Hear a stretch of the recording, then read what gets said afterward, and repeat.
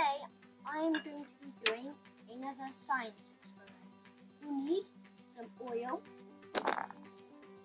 two glasses, some warm water, a dye, not this. Right, first pour some warm water into your cup.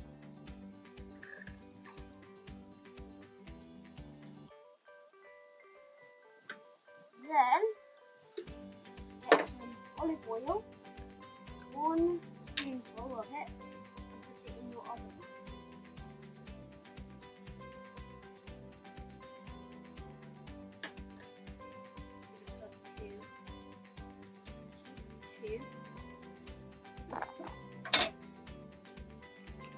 Then put a drop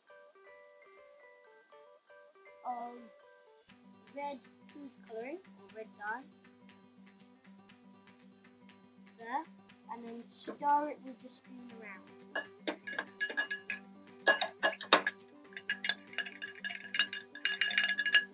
Right. Then pour that into your oven. Right. Bring you round. So right now it's just a big blob.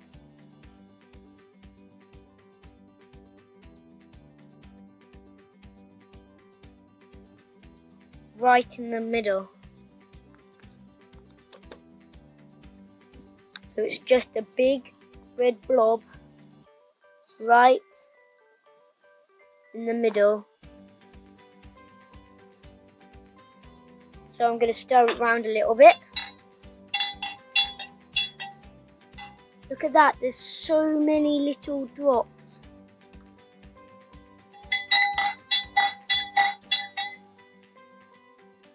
If you like this video, um, just comment down for more. Um, bye.